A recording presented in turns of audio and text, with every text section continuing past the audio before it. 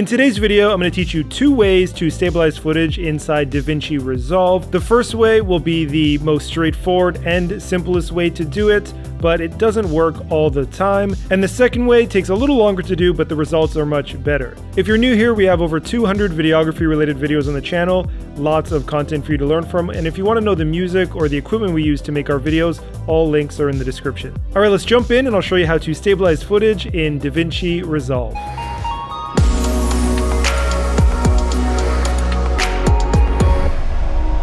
All right, I have a clip loaded in DaVinci Resolve and I'm going to duplicate it. This left one will be the easy approach and this right one will be the more professional approach. And in many cases, you might find out that the easy approach ends up being just as good as the professional, but there are certain times where the pro approach will give you better results. So it's important to know both. So with the first clip selected, up here in the inspector area, you can go down and you can see where stabilization is. So let's expand that.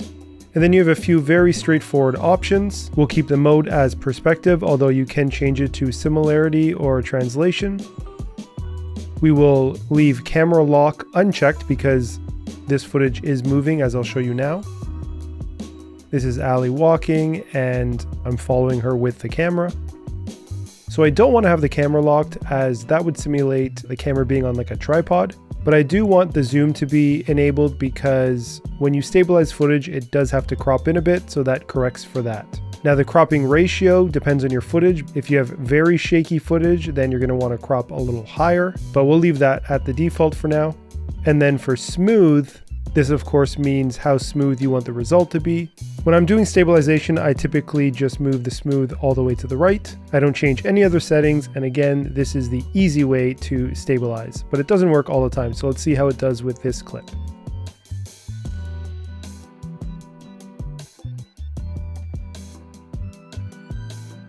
So as you can see, it did a pretty bad job on this clip. It warped the footage, it cropped in quite heavily. So let's go ahead and uh, bring back the smoothness, try to stabilize it again and see if we can get a better result.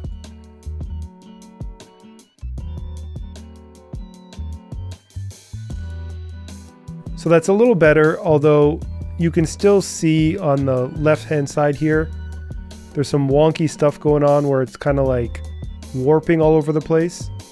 If you're familiar with Premiere Pro, they have something called Warp Stabilizer, and it basically does the same job as this. It'll sort of warp your image to try to stabilize it, but in many cases, it does not do a good job. So we'll move smooth all the way back to the left.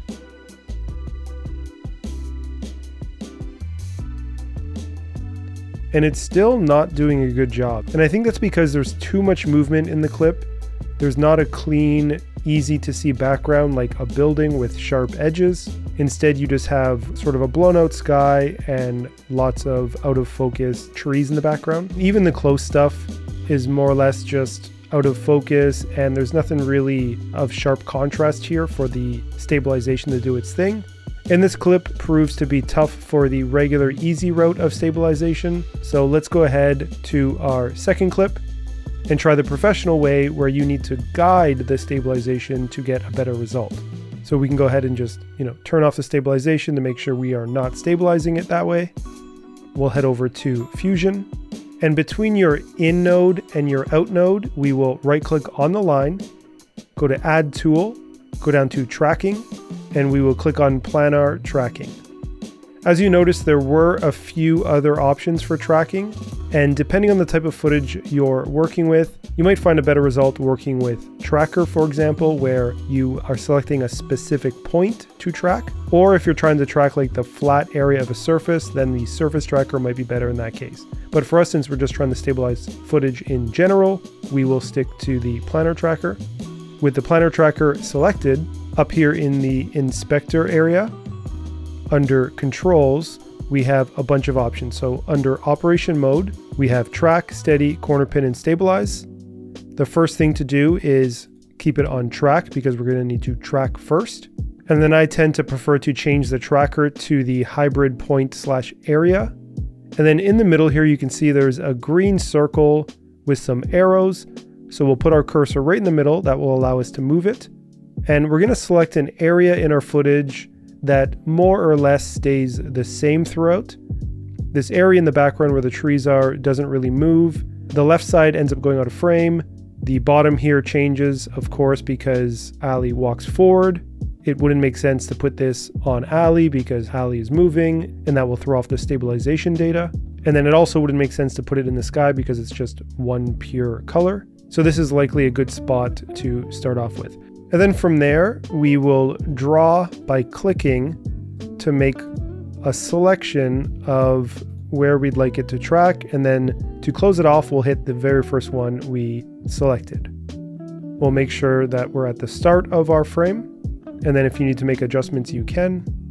And the point here is because I know the ground here will be changing, I'm trying to exclude it and only have sort of the background of the trees selected.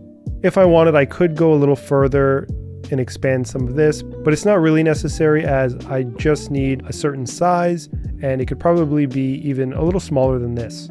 But I think this will work well and it's not going to take too long. And once we've done that, under motion type, we will keep it to perspective. Output will be the background.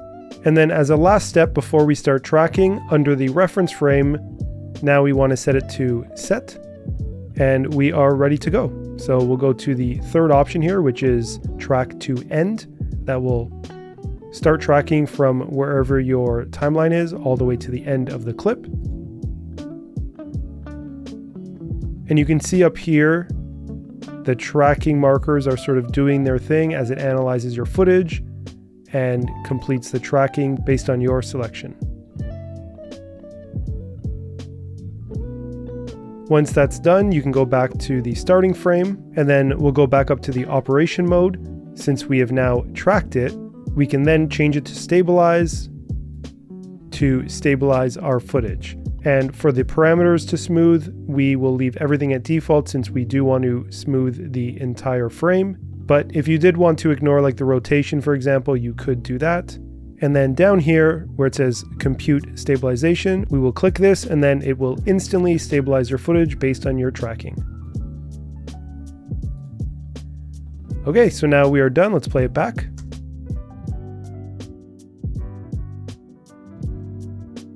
And you can see now that there isn't any wonky changes in the background, but we are getting a little bit of cropping. That's because again, this is the pro way and we have to do things a little more manually. So at the end there, you could see that the left side needs to be cropped a bit, and that's very easy to fix. So down here in the frame mode, we go to crop, and then we go to scale, and we just scale in until it disappears. Go back to the start, we'll watch it again.